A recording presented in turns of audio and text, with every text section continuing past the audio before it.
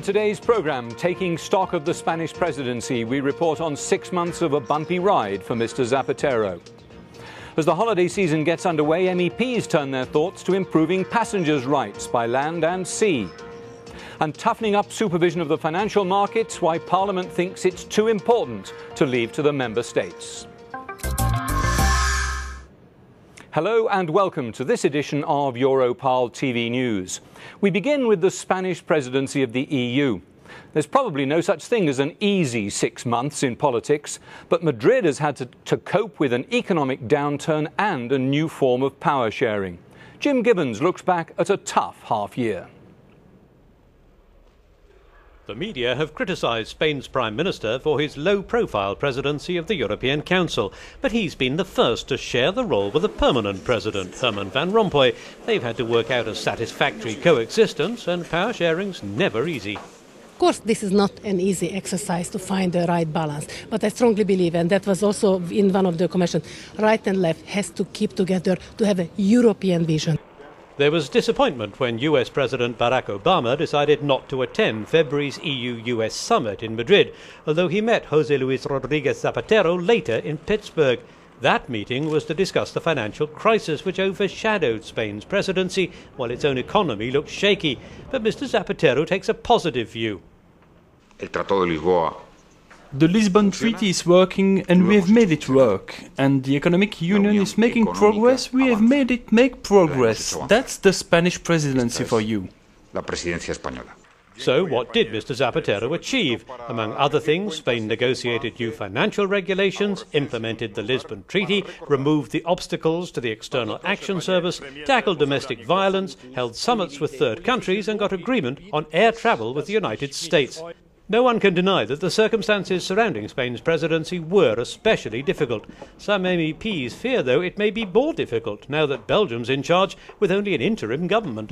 As Mr. Van Rompuy knows the governance and functioning of his country so well, I'd like to propose that he writes out a set of rules for Belgium's presidency to follow.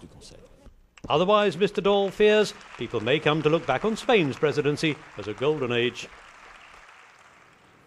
After the Icelandic volcano, Europeans are much more aware of their rights as plane and train passengers, and boat and ferry users will soon enjoy similar, to rights, to the, similar rights to those in the air.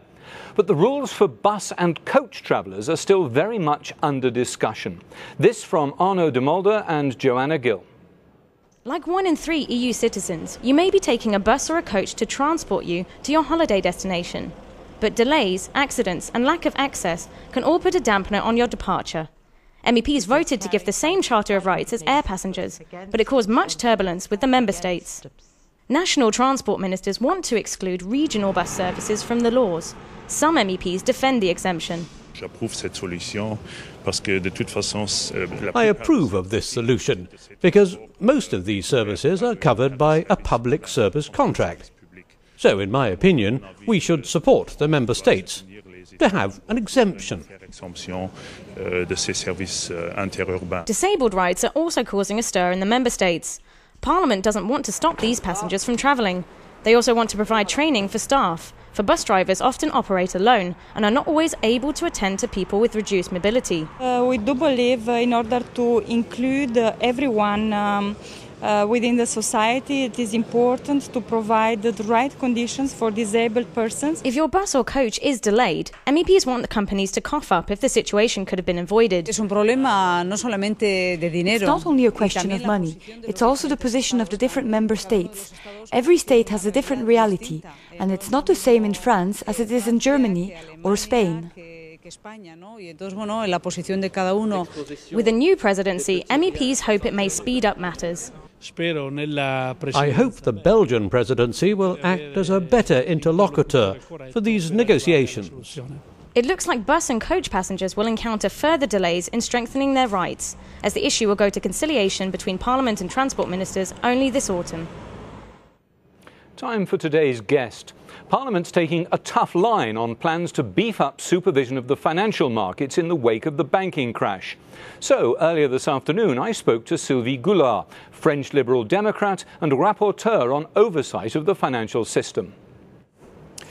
Sylvie Goulard, why should financial markets be regulated at EU level rather than just left to national member states? Well, we have experienced a very severe crisis in which we have seen, for example, banks acting in different member states, and when there is a problem, nobody knows who is in charge of uh, supervising them. So the purpose of this legislation is not to supervise all the markets, all the banks, all the insurance companies at the European level, not at all, but to make sure that the ones working and making business at the European level with no borders accept to be regulated at the right level. So you want to go into the boardrooms, as it were, of the banks which are operating cross-border and tell them what they can and can't do? Well, what is the other solution? It's Regulate at national level. Leave it, for example, to well, the Bank of England in, yes, uh, in and, London. and when you have a bank uh, acting in many member states and the national supervisory authorities disagree, then you are uh, in, in, a situation in which you have no decision, which might be very uh, risky for the economy. I remind you that we have already experienced these cases with Fortis, for example. And what do you say to those who argue if you're too heavy handed with this regulation, all the business will just go to the Far East? It's a very good point. Uh, we, have to, to, we have to take it into account. But look at what's just happening in the United States. The United States have not given up their right to regulate and supervise the, the activity based in the US. Of course, we have to think global.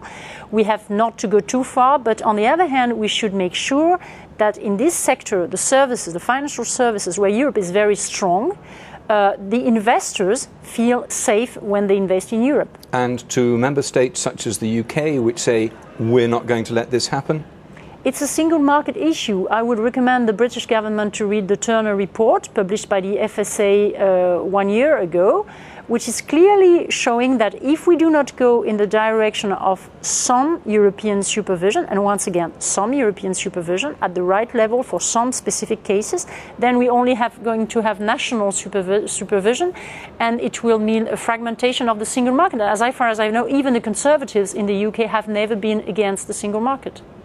Sylvie Goulard, thank you very much indeed. And the news came later this afternoon that the main vote on supervision will be pushed back to September. Now, the headlines. Kosovo in the spotlight. The recent upsurge in violence in the former Serb province is causing concern. European Council President Van Rompuy visited Kosovo today while on his first tour of the Balkans. The weekend's incidents also prompted an extraordinary session of the UN Security Council today. The European Parliament will debate the situation in plenary tomorrow.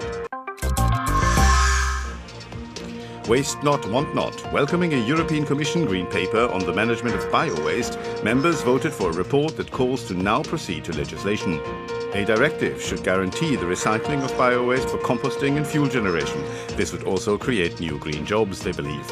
Estimates put the EU's annual amount of bio-waste at up to 140 million tonnes. Youth in Peril, a report by the youngest Member of Parliament on promoting the access of young people to the labour market, was also adopted in plenary today. It calls for the creation of a European Quality Charter for internships and an EU-wide guarantee giving young persons a right to either work, training or education after four months of unemployment. Today, 5.5 million young people under 25 are unemployed, twice the overall unemployment rate. And finally, petitions. Any European citizen can bring a petition before the Parliament, and about 1,500 people a year make the effort to do so. This report, compiled by Hugh Wernstock, takes us to Spain. Enrique Yuc is a Spanish farmer who brought his battle to the Petitions Committee of the European Parliament. Enrique, dispossessed of his land, thinks that the regional urban planning law has flouted his right to property. The Parliament agreed with him and even threatened to suspend the payment of European funds to Spain until the problems of urban planning by the seaside have been solved. People in Spain have got a very good feeling that the Parliament uh, cares for their their problems, that we uh, don't uh, accept bad legislation. We don't accept uh, bad uh, core, uh, uh court justice practices. Uh, that we really want that uh, human rights should be respected. Enrique isn't the only one to have called out the MEPs. In 2009, the Parliament received 1,924 petitions from all over Europe, 4% more than in 2008. Almost half of these petitions were deemed admissible. This means also that we've pursued a good information policy, which has allowed citizens to distinguish between questions of European law and questions of national competence. As for the petitions that were deemed inadmissible, MEPs today voiced their support for a special information portal that would guide citizens in the future. The idea behind it is to gain time and to allow the Petitions Committee to function more efficiently. That's it for now. Thanks for watching and see you next time.